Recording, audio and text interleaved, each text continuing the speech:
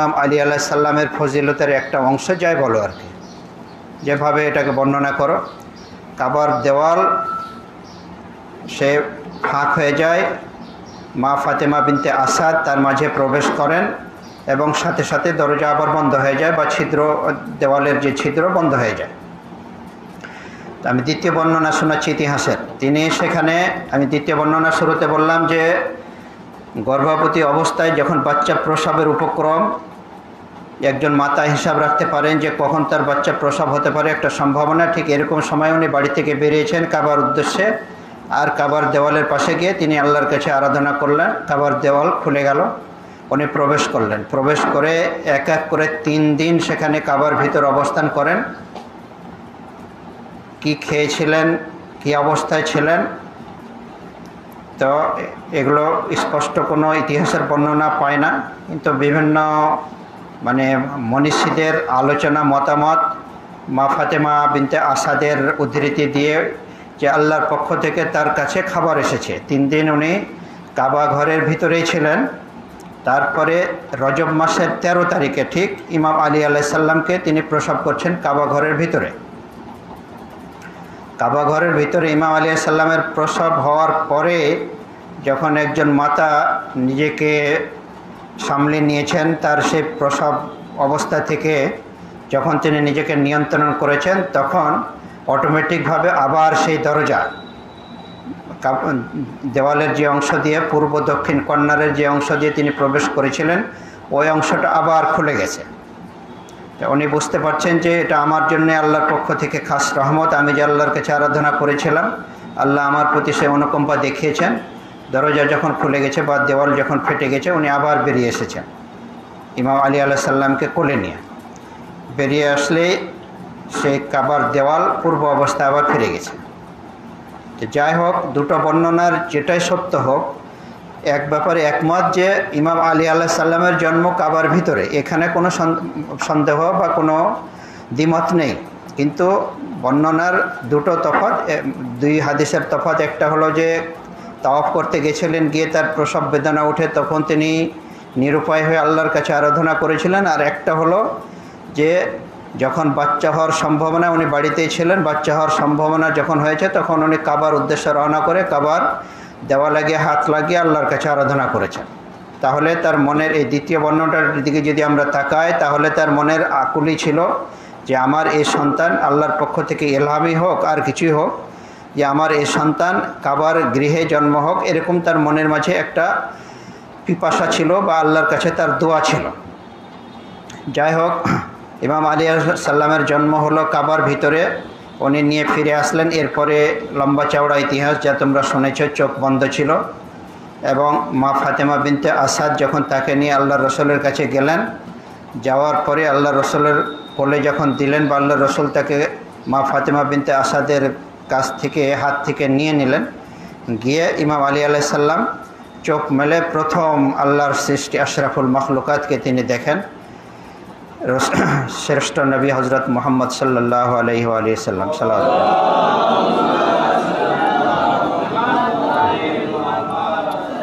এখন একটু আমি পিছনে ফিরে যাচ্ছি এর মূল্যায়ন করতে।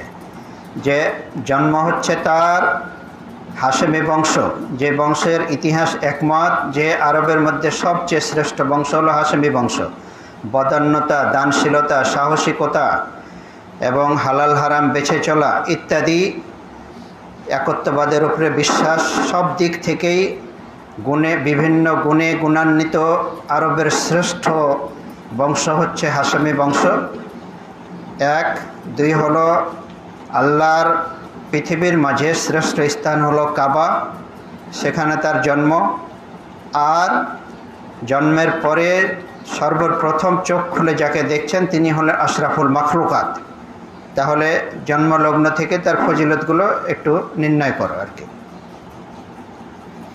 এখন উনি এসে উনি জন্মের পরে এসে পিতার গৃহে লালিত পালিত শুরু হন। লালিত পালিত হতে হতে তৃতীয় বৎসরে, ওনার বয়স যখন তৃতীয় বৎসরে অবস্থান করছে বা উনি তৃতীয় বৎসরে পদার্পণ করেছেন, তখন আরবে দুর্ভিক্ষ দেখা দেয়। আরব মরুভূমির দেশ দুর্ভিক্ষ দেখা দেয়। এমন পরিস্থিতিতে অর্থনৈতিক সমস্যা মানে জমি আছে, ফসল উৎপন্ন হচ্ছে না, খেজুরের গাছ আছে বৃষ্টি নাই, খেজুর ধরছে না, ইত্যাদি ইত্যাদি। দুর্ভিক্ষ বলা হয় তাকে, যে জমিতে ফসল হচ্ছে না, বৃষ্টি হচ্ছে না। তো ঠিক এমন পরিস্থিতিতে আল্লাহর রসুল তার দু এক চাচার সাথে পরামর্শ করলেন যে, আবু তালেবের সন্তান তো অনেক, তো এরকম পরিস্থিতিতে এখন ছেলে মেয়েদের লালন পালন করা ওনার জন্য একটা বোঝা হয়ে দাঁড়িয়েছে। অর্থনৈতিকভাবে তার কাঁধে একটা বিশাল বোঝা পড়ে গেছে। তো আমরা যদি এক একটা সন্তানকে নিয়ে নিই, তাহলে তার বোঝটা কিছু কমে, সেক্ষেত্রে কেমন হয়? তো তার চাচাও তাকে পরামর্শ স্বীকৃতি জোগালেন এবং আল্লাহ রসুলের এই প্রস্তাবকে গ্রহণ করার সাথে সাথে আবু তালেবের অনেক ছেলে মেয়েকে, ছেলেরাকে বিশেষ করে, ইতিহাসের যা বর্ণনা, অনেক ছেলেকেই অনেকে নিয়ে নেন এবং এখান থেকে ইমাম আলী আলাইসাল্লাম তৃতীয় বৎসরে, অর্থাৎ জন্মের তৃতীয় বৎসরে বা তিন বৎসর বয়সে আল্লাহ রসুলের গৃহে চলে আসেন। এখন সরাসরি আল্লাহর রসুল, আমি বললাম যে আশরাফুল মখলুকাত, শ্রেষ্ঠ নবী, আর এমন একজন ফজিলত সম্পন্ন ব্যক্তিত্ব, একটু আগে যে পয়েন্টগুলো বললাম, ফজিলত সম্পন্ন ব্যক্তিত্ব এবার শ্রেষ্ঠ মখলুকাত বা শ্রেষ্ঠ নবীর হাতে এখন এসে ইনি পড়ে গেছেন। এখন লালিত পালিত লালন পালনের দায়িত্ব রসুলের। এখন মানে সোনাই সোহাগা। এক শ্রেষ্ঠ ব্যক্তিত্ব বংশীয় দিক থেকে, জন্মের ইতিহাসের দিক থেকে, পিতৃমাতৃ কুলের দিক থেকে, আর এসে লালন পালনের দায়িত্ব পড়ছে আশরাফুল মাখলুকাতের হাতে। এখন উনি আল্লাহ রসুলের হাতে লালিত পালিত হতে থাকেন। আল্লাহর রসুল তার যে নবতির দায়িত্ব, আমরা শিয়া মাঝহাব বা জাফরি মাঝহাবের আকিদা বিশ্বাস বা শুধু জাফরি মাঝহাব বললে ভুল হবে, ইতিহাসের যে সাক্ষ্য, ইসলামের ইতিহাসের অর্থাৎ সুন্নি মাঝহাবেরই ইসলামের ইতিহাসের যে সাক্ষ্য, তাতে আল্লাহর রসুল জন্ম তো দূর, আল্লাহর রসুলের যখন নুৎফা তৈরি হয় নুৎফাও দূর, যখন আল্লাহর রসুলের রূপ আল্লাহ তৈরি করেন, তখন থেকে তার তক্তিরে লেখা ছিল যে ইনি হচ্ছেন আশরাফুল মখলুকাত, ইনি হচ্ছেন শ্রেষ্ঠ রসুল, তাকে রেসালতের দায়িত্ব আল্লাহ দিবেন।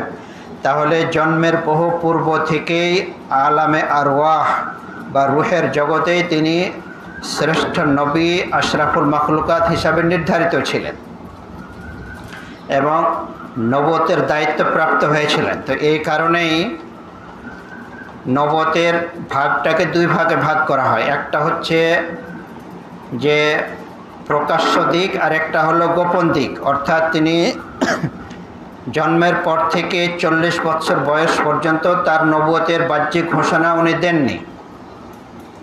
এ সময় ওনার জীবনের কাজ ছিল যে গারে হেরা, আরবের মক্কার একটু বাইরে আর কি, ফাঁকা স্থান বলা হয়। মক্কার হারামের ওটা অংশ। তো মিনার মিনার দিকে, অর্থাৎ মাসার থেকে যখন মিনার দিকে হাজিরা যাবে, তো এই রাস্তার ডান সাইডে পড়ে আর কি গাড়ে হেরা। তো আল্লাহর রসুল একটা পাহাড় মানে নিচু থেকে উঁচু স্থান পাহাড় সে পাহাড়ের মাথার উপরে উঠে একটা গর্ত। সেই গর্তটাকে বলা হয় গাড়ে হেরা। এবং ওই পাহাড়ে উঠতে হলে একটু কষ্ট আছে এবং নির্ধারিত রাস্তা দিয়ে উঠতে হবে, যেদিক সেদিক দিয়ে উঠা যাবে না এবং কষ্টকর। আর হজ মৌসুমে হাজিরে গিয়ে বেশ গ্যাদারিং লাগে, যার ধরনের সিরিয়ালও পাওয়া মুশকিল। অনেকক্ষণ যারা উঠতে চায়, অনেকক্ষণই ওখানে গিয়ে দাঁড়িয়ে থাকতে হয় আর কি। যাদের ধৈর্য কুলে একদিকে দিনের বেলা প্রচণ্ড রোদ, তো যাই হোক, সেই গাড়ে হেরাতে আল্লাহর রসুল গিয়ে বৎসরের বিভিন্ন সময়ে উনি আল্লাহর ইবাদত বন্দিগিতে ব্যস্ত থাকতেন। যে ইতিহাসের বর্ণনা ব্যাপারে খুব স্পষ্ট নয় যে তিনি কি করতেন, কি ধরনের ইবাদত বন্দেগী করতেন, তার ধরন রূপরেখা খুব বিস্তারিত আসেনি। তবে তিনি আল্লাহর ইবাদতে ব্যস্ত থাকতেন, এতটুকুই ঐতিহাসিকের একমত। সব ঐতিহাসিকই একমত যে উনি গাড়ে হেরাতে বৎসরের বিভিন্ন সময় দুইবার, তিনবার গিয়ে একাধিক্রমে দশ দিন, পনেরো দিন, বিশ দিন, এক মাস কোনো কোনো সময় গাড়ে হেরাতে উনি অবস্থান করতেন। এই সময় তার খাবার নিয়ে যাওয়ার দায়িত্ব ছিল ইমাম আলী আলাইসাল্লামের তাহলে আমরা একটু আগে বললাম যে ইমাম আলী আল্লাহ সাল্লামের সে ব্যক্তিত্ব, তার ফজিলত আর আশরাফুল মাখলুকাতের হাতে বা তার গৃহে তিনি লালিত পালিত হচ্ছেন আর আশরাফুল মাখলুকাত গেছেন গাড়ে হেরাতে আল্লাহর ধ্যানে। উনি এবার খাবার নিয়ে যাচ্ছেন সেই আশরাফুল মাখলুকাতের জন্য। একটু আগেই বললাম যে সোনায় সোহাগা যাকে বলা হয় আর কি। তো এই গাড়ে হেরাতে আল্লাহ রসুল অবস্থান করতেন। ইমাম আলী আল্লাহ সাল্লাম তার জন্য খাবার নিয়ে গিয়ে ইতিহাসের বর্ণনা হলো যে অনেক সময় ইমাম আলী আল্লাহ সাল্লামের রসুলের সাথে বসে থেকে রসুল যেসব কাজ করতেন, উনিও সে কাজগুলো করতেন। অর্থাৎ আল্লাহর রসুল যেভাবে আল্লাহর ইবাদত বন্দেগী করতেন, ইমাম আলী আলাই সাল্লামও তার সাথে যোগদান করতেন। এগুলো ইতিহাসের বর্ণনা, তবে সব ইতিহাসে আসেনি, কিছু কিছু ইতিহাসে এসেছে। তবে এক কথায় যে এই সময়টা খাবার নিয়ে যেতেন ইমাম আলী আলাইসাল্লাম তো যাই হোক, এরপরে পরবর্তী চ্যাপ্টার আসে যে আল্লাহ রসুলের যখন নবতির এই গোপনীয় পিরিয়ড শেষ হয়ে যায়, অর্থাৎ চল্লিশ বৎসর শেষ হয়ে গিয়ে যখন একচল্লিশ বৎসরে তিনি পদার্পণ করেন তখন আল্লাহর পক্ষ থেকে নবতির বাহ্যিক ঘোষণা দেওয়ার দায়িত্ব এসে যায় তার কাঁধে। এবং তিনি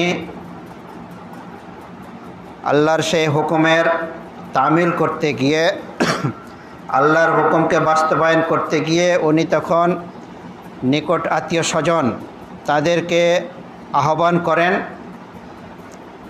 দাওয়াত দেওয়ার জন্য খানার বন্দোবস্ত করেন। এটাকে দাওয়াতে জুল আশিরা বলা হয় আর কি, কোরআনের ভাষায়। তো দাওয়াতে জুল আশিরাতে আল্লাহ রসুল খাবারের বন্দোবস্ত করেছেন। তার আত্মীয় স্বজন দাওয়াত, তার আত্মীয় স্বজনকে তিনি দাওয়াত দিয়েছেন। আত্মীয় স্বজনেরা সেখানে তার দাওয়াতে সাড়া দিয়ে খাবার দাবার খেয়ে, সেখানে সমবেত হয়ে খাবার দাবার খেয়ে বসে আছেন। এরপরে আল্লাহ রসুল তার বক্তব্য শুরু করলেন যে কেউ যদি আমার আহ্বানে সাড়া দেয়, আমি এক আল্লাহর ওয়াহাদানিয়াতের সংবাদ দিচ্ছি এবং আমি হচ্ছি তার প্রেরিত পুরুষ, সর্বশ্রেষ্ঠ এবং সর্বশেষ নবী বা রসুল। কেউ যদি আমার এই কথা বিশ্বাস করে এবং তার প্রতি সাক্ষ্য দেয়, তাহলে তার জন্য একটা সুসংবাদ হলো যে সেই ব্যক্তি হবেন আমার পরবর্তীতে আমার স্থলাভিষিক্ত ব্যক্তি, আমার কায়েম মাকাম। অর্থাৎ দুনিয়া থেকে যখন আমি বিদায় গ্রহণ করব, আমার দায়িত্ব যখন শেষ হয়ে যাবে তখন আমার পরেই এই বিশাল দায়িত্বের মালিকানা তারই কাঁধে চাপবে। এ হলো তার জন্য সুসংবাদ। অন্য ভাষায় বেলায়ত বা খেলাফত অথবা ওসিয়ত যাই বলি আর কি, রসুলের পরবর্তীতে অংশ, অন্য ভাষায় ইমামতের প্রথম দায়িত্ব তিনিই পাবেন। আল্লাহ রসুল এক এক করে এই দাওয়াতের আহ্বান করলেন তিন দিন। আর প্রথম দাওয়াতে উনি এক এক করে তিনবার আহ্বান জানাচ্ছেন। কিন্তু একমাত্র সেই অনুষ্ঠানে ইমাম আলী আলাহ সাল্লাম ছাড়া অন্য কেউ রাসুলের এই কথার স্বীকৃতি দিচ্ছেন না। তাহলে আল্লাহর রসুলের বাহ্যিক ঘোষণা নবতের বাহ্যিক ঘোষণা বা দাওয়াতে জুল আশিরার ঘটনায় প্রথম যিনি ইমানের ঘোষণা দেন, আল্লাহর একত্ববাদকে বিশ্বাস করেন বাহ্যিকভাবে। এবং মানুষের সামনে যিনি ঘোষণা দেন, তিনি হলেন ইমাম আলী আলাইসাল্লাম সালাদ পড়ো।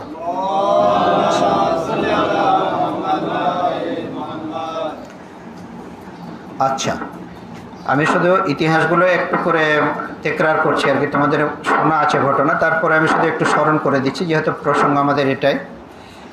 তো এরপরে উনি বাহ্যিক রাসুলের ঘোষণার বিপরীতে উনি জবাব দিলেন বা স্বীকৃতি দিলেন এবং তিনি প্রথম মুসলমান হিসেবে জনসমাজে আত্মপ্রকাশ করলেন।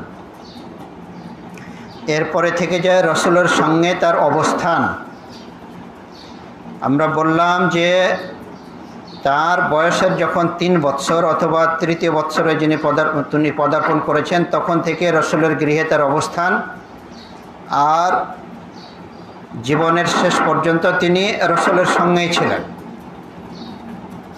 রসুলের উঠা বসা, বিভিন্ন জায়গাতে রসুলের দাওয়াতি মিশন নিয়ে যাত্রা এবং মক্কা থেকে নবতের বাহ্যিক নবতের তেরো বৎসরে উনি যখন মক্কার পরিবেশ তার প্রতিকূলে চলে যায়, তখন হিজরতের অনুমতি পেয়ে যখন তিনি হিজরত করছেন মক্কা থেকে মদিনায় তখন সেই বিভীষিকাময় রাত্রিতে শত্রু বেষ্টিত বাসার সেই বিছানায় ইমাম আলীকে শুয়ে দিচ্ছেন।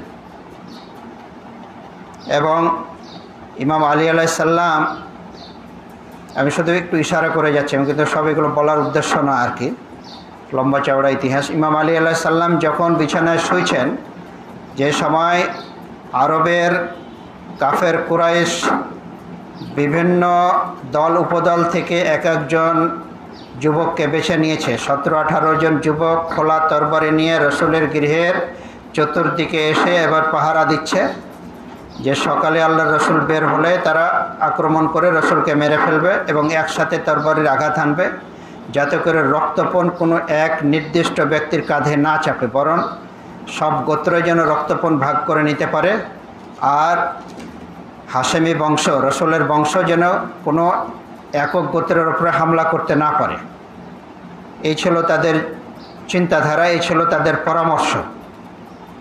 এমন ওদের সুপরিকল্পনা আর এই শত্রু বেষ্টিত বাড়ির ভিতরে আল্লাহর রসুলের বিছানায় ইমাম আলী আল্লাহ সাল্লামকে আল্লাহ রসুল শুয়ে দিচ্ছেন তার রেশমি চাদর পরিয়ে দিয়ে এবং তিনি বলছেন যে, তোমার উপরে কিছু আমানত থাকল, এগুলো কাল দিন হবে, তখন তুমি অমুক অমুককে এই আমানতগুলো দিয়ে আমার কন্যা ফাতেমা, তোমার মাতা ফাতেমা বিনতে আসাদ, আরও একজন ফাতেমা ছিলেন, আমি নামটা এই মুহূর্তে ভুলে যাচ্ছি। তো এদেরকে নিয়ে তুমি মদিনার পথে চলে আসবে। তো ইমাম আলী আলাহ সাল্লাম এরকম মারমুখ পরিবেশ দেখেও একবারও প্রশ্ন করছেন, না, ইয়া রসুল আল্লাহ আমি যে এরকম শত্রু বেষ্টিত বাসাতে আপনার বিছানায় শুয়ে যাচ্ছি পরিস্থিতি কি হতে পারে, আমাকে কীভাবে মোকাবেলা করতে হবে, আমি কি পদ্ধতি অবলম্বন করব, তার কোনো প্রশ্ন নেই। তিনি একটা প্রশ্ন করছেন যে, আমি যদি আপনার বিছানায় শুয়ে যাই তাহলে আপনি নিরাপদ থাকবেন তো? আপনার জীবন নিরাপত্তা লাভ করবে তো? আল্লাহ রসুল বললেন যে হ্যাঁ ইনশাআল্লাহ। তাহলে পরবর্তীতে আর একটু আমরা সামনে যখন যাব, আর আলোচনা উঠবে আবু বকরের ঘটনাকে নিয়ে। হজরত আবু বকর বয়বৃদ্ধ সাহাবি রসুলের শ্বশুর, তার ইমানের তুলনা এবং ইমাম আলী আল্লাহ সাল্লামের ইমামের ইমানের তুলনা তো এখানেই ফুটে ওঠে যে ওনাকে শত্রু বেষ্টিত বাড়ির ভিতরে রসলের বিছানায় শুয়ে দিচ্ছে, রসলের চাদর পরিয়ে। আর তিনি একবারও প্রশ্ন করছেন না যে আমার কি হবে? ওদিকে আল্লাহ রসুল মক্কা থেকে বেরিয়ে গারে সাউর গারে সাউরে গিয়ে আশ্রয় নিয়েছেন।